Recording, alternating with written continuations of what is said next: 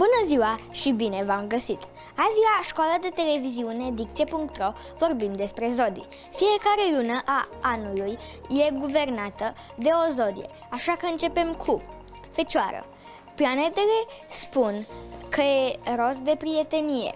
Poate apare cineva care vrea să fie în preajma voastră sau care vă place în secret. Balanță. E ceva ce trebuia să încheiați și nu ați reușit din cauze ce nu țin neapărat de voi, dar azi nimic nu vă stă în cale. Scorpion. Aici planetele transmit ceva legat de bani, de pușculiță mai exact. Puteți să vă cumpărați cam ce vreți voi. Săgetător.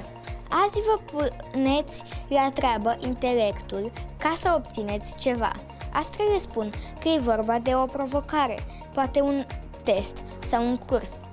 Țin, vă ținem pumnii să reușiți. Capricorn, aici e cu avertisment. Astrele spun să verificați dacă nu cumva ați uitat să faceți ceva ce trebuie rezolvat. Vărsător, la fel e și la voi, doar că e ceva legat de acte. Să nu cumva să fi pierdut carnetul de note pe undeva. Ia verificați. Pești. Faceți ședință cu părinții sau cu prietenii ca să luați decizii despre cum să vă fie mai bine în viitor. Astrele spun să ascultați și pe ceilalți. Berbec. Se pare că aveți de făcut un drum undeva ca să vă înscrieți la ceva. O fi un curs nou sau poate lecții de dans. E oricum ceva ce vă doriți. Taur. Se pare că vă cam place să cheltuiți. Nu-i nimic rău în asta, dar astrele vă șoptesc să mai faceți și economii.